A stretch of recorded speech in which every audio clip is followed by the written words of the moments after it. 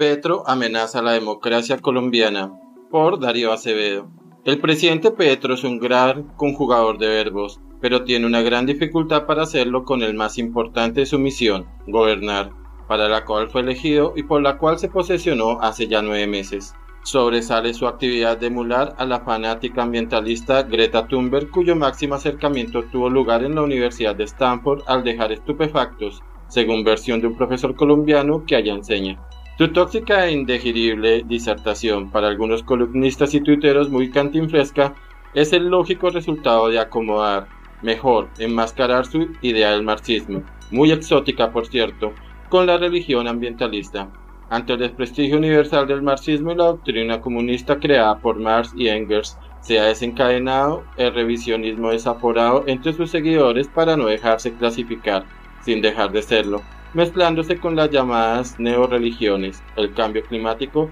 la neolengua, la poshistoria, el feminismo, el poliamor, la indiferenciación sexual, etc. No obstante, lo que está causando mayor preocupación en diversos sectores de la sociedad colombiana no solo tiene que ver con el carácter desastroso de sus proyectos de reforma pensional, de tierras, de la salud, el Plan Nacional de Desarrollo y el Trabajo, sino con su reacción de furia y desespero ante los debates críticos y modificatorios por parte de la oposición e incluso de socios del pacto histórico. El tono de sus discursos es alarmante, pues, así como amenaza con un nuevo estallido social como el del 2021, el cual fue un auténtico ensayo insurreccional, también lo hace con la idea de convocar una asamblea constituyente y llamar a las propiaciones pre de tierras y bienes con el fin de financiar su reforma agraria basada en el minifundio. Petro no habla de revolución, aunque en esencia es hacia donde conduce el país. Prefiere hablar del cambio, acatando, a lo mejor, a sus consejeros que deben advertirle alto costo de su imagen si usa esa palabra tan desprestigiada. Su política de cambio radical e irrespetuosa de los límites que le impone la democracia que Orondo niega. Para Petro las líneas rojas son caprichosas formalidades u obstáculos esgrimidos por la oligarquía otra de las palabrejas que adorna su neo vocabulario. No es que no entienda que la democracia está cimentada en formalidades y procedimientos, es que no las admite y les fastidia el llamado a respetarlas. El problema con Petro no es que desconozca o ignore el modelo que se inspira en la separación de los tres grandes poderes públicos propios de las repúblicas contemporáneas, es que él actúa en consecuencia con su pulsión revolucionaria y considera sus principios como obstáculos que impiden el cambio. Esa manera de pensar y actuar deriva necesariamente en la anulación de la función deliberante del Congreso,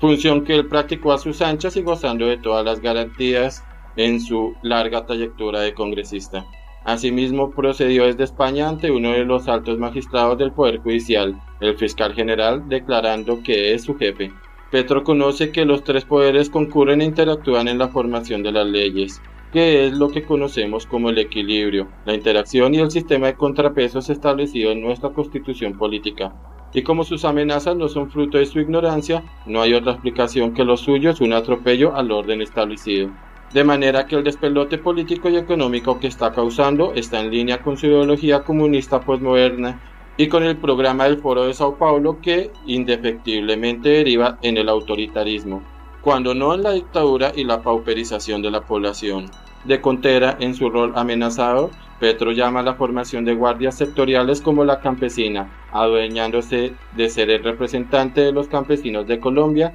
y haciendo a un lado otro principio constitucional, a saber, que el presidente es el representante de la nación y ha de gobernar según los intereses de ella, y no de uno o unos sectores designados a capricho o por interés revolucionario. Colombia no ha tenido un día, semana ni mes de pausa desde que Petro asumió la presidencia. No falta el escándalo, el susto, el peligro, el daño que deja una estela de desesperanza y pesimismo en los hogares. Su insostenible propuesta de eliminar la exploración de gas, carbón y petróleo que para salvar a la humanidad de su desaparición. Se queda sin piso al asumir funciones de canciller de la dictadura de Maduro con el claro objetivo de que pueda volver a comerciar petróleo con el mundo libre tuviese un espejo en el cual mirar el camino al abismo hacia el que Petro conduce a la nación, nada más parecido que el de las dictaduras de Nicaragua, Venezuela y Cuba, cuyos tiranos carecen de toda vergüenza para coartar las libertades, anular la democracia y empobrecer a las gentes en el marco de una retórica del odio de clases,